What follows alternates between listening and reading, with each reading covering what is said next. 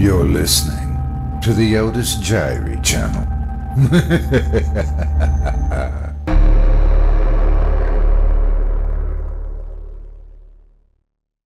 Capital Punishment by Moonlit Cove, performed by Otis Jiry. You may recall back in June of 2021 how the first live televised execution of a death row inmate had gone off without a hitch. It was one of the most anticipated TV airings in recent, and I suppose even in distant, memory.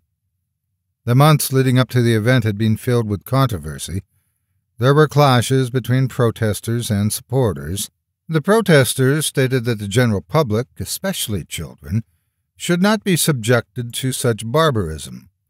The supporters argued that viewing it was not mandatory and that children could be kept from seeing it by their parents if they felt it was necessary to shield them. Not only that, but it would also be a major deterrent for many would be criminals. Right or wrong, it had already been decided upon and approved by all government agencies involved. When it was announced in January that this would happen, it became the primary conversation point of every man, woman, and child. People discussed it around workplace water coolers, strangers discussed it on subways, buses, and in doctors' waiting rooms. School children talked about it at recess and in gym locker rooms. It could be eavesdropped from adjacent restaurant tables everywhere. Everyone had an opinion, and everyone was curious how it would all play out. The criminal's name was Harlan Wade Forrester, known by all three of his names, as most serial killers seem to be. However, before his capture, the public knew him as the Red Baron Killer because he left each victim with a neatly carved Maltese cross in the small of their back. He was the epitome of a vile human being. In the three years leading up to his capture, he managed to kidnap and murder 23 people, mostly teenage girls, but with occasional adult men and women thrown in for good measure. He had always left their corpses out in the open, posed in the most ordinary situations. For example, one of his victims was found early in the morning when the sun rose, sitting on a park bench with her hand resting palm up on her lap. The hand was filled with birdseed, and pigeons flapped about and ate from her palm. Another was discovered late at night riding in an L train car in Chicago leaning against the window as if looking out at the passing scenery. She had earbud headphones in place and an MP3 player still blasting away. And so it was with each of his victims. One found behind the wheel of a car in a Kmart parking lot, one relaxing in a lawn chair on her back patio with sunglasses and a drink with a little umbrella in it. All were fully clothed. All appeared perfectly fine and normal until approached. The incidents had taken place throughout nine states in the Midwest. As the body count rose, so did the panic level. News story after news story surfaced with seemingly no end. It became rare to see teenage girls out alone. They began doing everything in groups, pairs at a minimum. People only stayed out late into the night if they absolutely had to. Many would not go out after dark at all.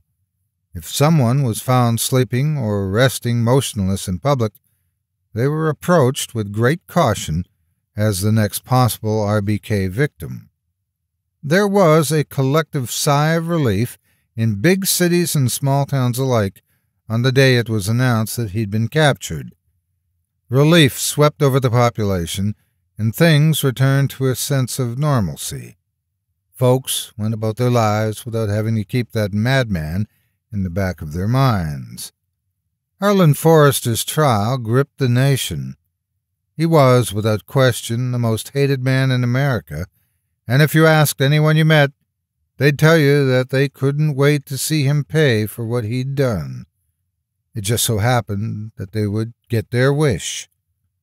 The court proceedings were highly publicized, and not a day passed that local and national news channels did not update the trial's progress.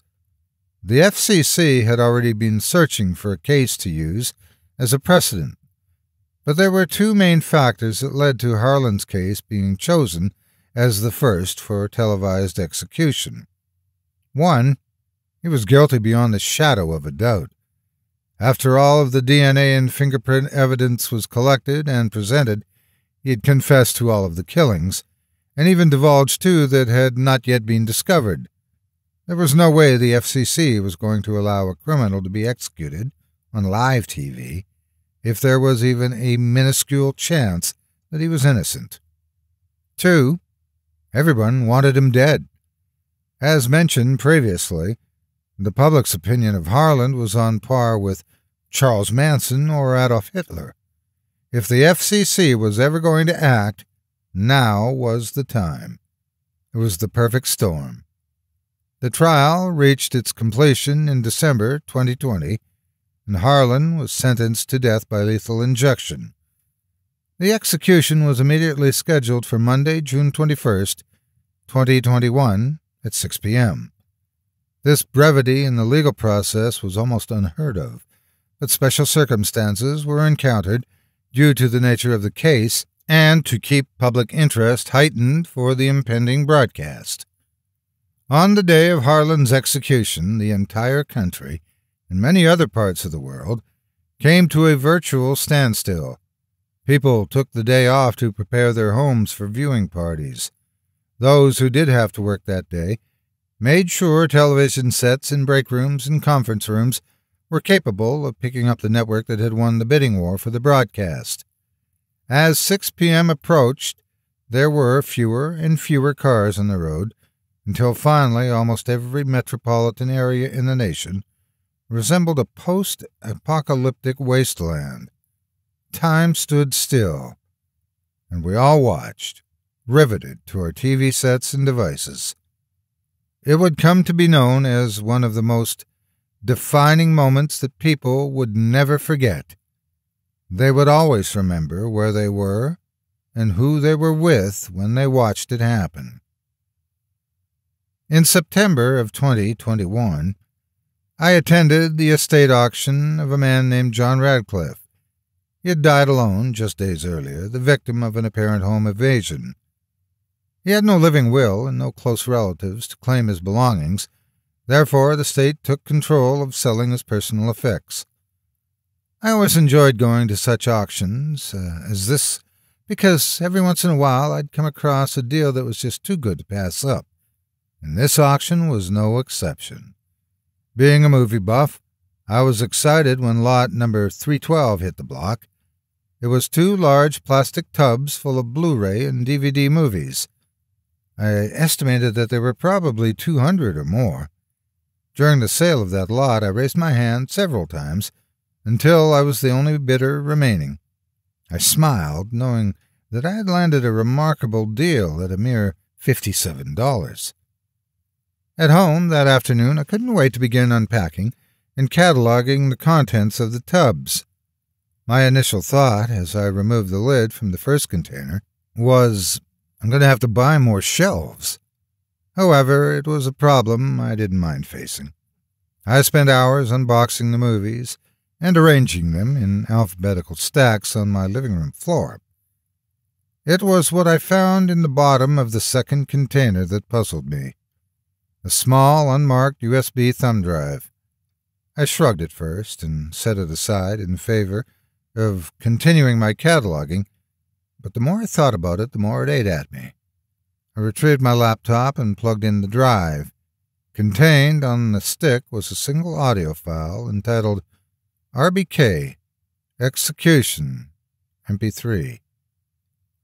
I double clicked it. The audio began with an inordinate amount of noise as the person doing the recording fumbled with the microphone. It then settled into the steady hiss of ambient background noise. This is John Radcliffe. The recording began, and I feel that I have to share my story. It's been bothering me for weeks now, and I want to get it off my chest. He paused and cleared his throat. I was involved in the live execution of Harlan Wade Forrester, the Red Baron killer. I was approached by the deputy warden of the prison where he was being held two days before his scheduled execution, and asked if I would take part in it. I had no idea why at the time. It wasn't until I was escorted to the prison and briefed by the warden that I really knew what was going on. There was another pause, then a sound as if he'd taken a swig from a bottle, which gave way to more ambient hissing. You see, uh, I was chosen because I look so much like Harlan. At least that's what they told me. And I agree, I do look like him. Well, as it turns out, Harlan had actually escaped from his prison cell the previous day. Don't ask me how he did it. They wouldn't tell me either. The thing is, though, they wanted to go ahead with the execution for the public's sake. It had been played up so much, and millions of dollars had already been spent on the TV contract and advertising and whatnot. They just didn't want everyone to go back into panic mode, you know? Not only that, but the prison needed to save face. There would have been hell to pay if the higher ups found out that RBK had escaped on their watch and so, as the old saying goes, the show must go on. I laid there just like they asked me to. Didn't move a muscle. I was a perfect actor. When it was all said and done and the cameras were turned off, I was debriefed, given some monetary compensation, and told never to tell a soul about this. I had to sign a bunch of papers saying so. Then they let me go. There was a somewhat long pause, and then another bottle clank and swig. Technically, I'm not telling anybody. I'm just recording this for my own conscience. I need to be able to sleep better. And then more ambient hiss before the recording device clicked off. I was in shock. I had no idea what to do with this information. It was like I'd stumbled onto proof that the moon landing was faked and I was the only person on Earth that knew about it. Except in this case, there were at least a handful of others that were privy to the charade. I needed to think. I turned on my TV, the very same TV on which I'd witnessed some guy named John Radcliffe fake the death of Harlan Foster back in June. The evening news was on, and to my surprise, there was a mention of the death of John Radcliffe. The young lady anchoring the news was barely able to keep her composure while she read the lines from her teleprompter that told how John's autopsy had revealed a Maltese cross carved in the small of his back. Thank you so much for taking time out of your day to listen to this story in its entirety. If you enjoy what you hear and what I do and would like to support me and my efforts, visit my Patreon page at patreon.com forward slash Otis.